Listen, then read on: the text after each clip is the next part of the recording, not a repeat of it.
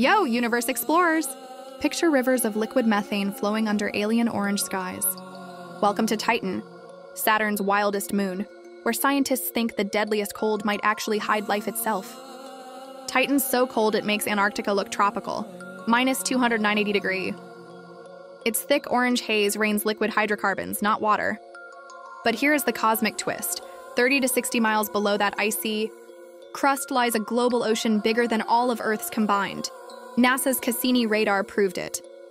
Where there's water, organic molecules, and energy, you've got the perfect recipe for alien life. So, could something be swimming down there right now?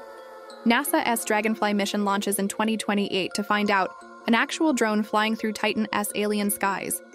They'll test soil for prebiotic chemistry, the same kind that may have sparked life on early Earth. Some scientists call Titan a cosmic time capsule.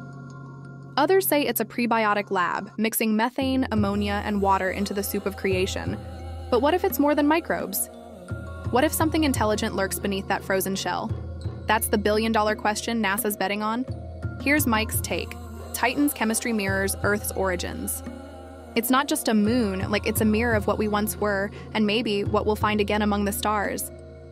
We could be looking at the most important discovery in human history life. Not on Mars, but under Titan's ice. Mind blown yet? Hit subscribe to Mike's Take on the Universe for Dragonfly mission updates, alien moon deep dives, and cosmic bombshells every week. Comment your theory below. Life on Titan? Yes, no, or maybe? Like if your team aliens exist, catch you in the stars, explorers.